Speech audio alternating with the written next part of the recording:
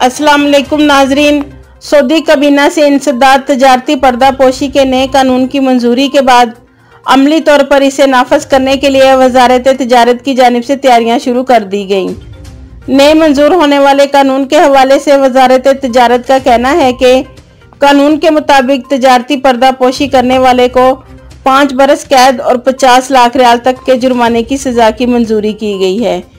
गैर मुल्कियों को कारोबार करने की इजाज़त दी गई है, मगर कैसे आपको इस वीडियो में बताएँगे कि गैर मुल्की कैसे सऊदिया में अपने नाम से कारोबार कर सकता है।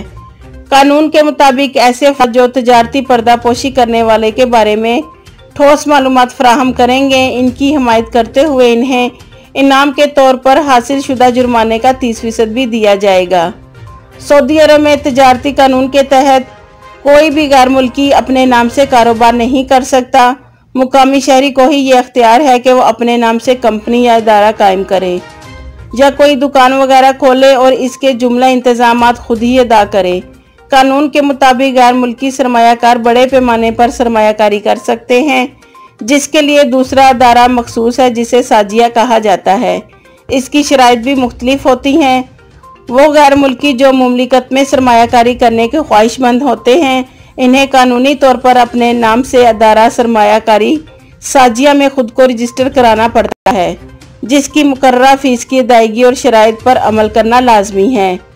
सऊदियों के नाम को इस्तेमाल करते हुए कारोबार करने वाले गैर मुल्की तजारती पर्दा पोशी के जमरे में आते हैं। ऐसा करना कानूनी तौर पर जुर्म शुमार किया जाता है। वो अफराद जो इस फेल में मुलवस होते हैं, इन्हें नए कानून के तहत पाँच बरस तक कैद और पचास लाख रियाल जुर्माने की सजा का सामना करना पड़ेगा।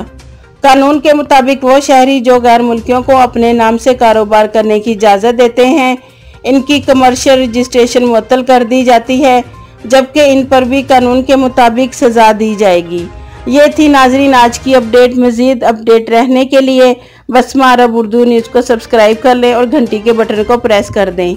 आपके कीमती वक्त का शुक्रिया।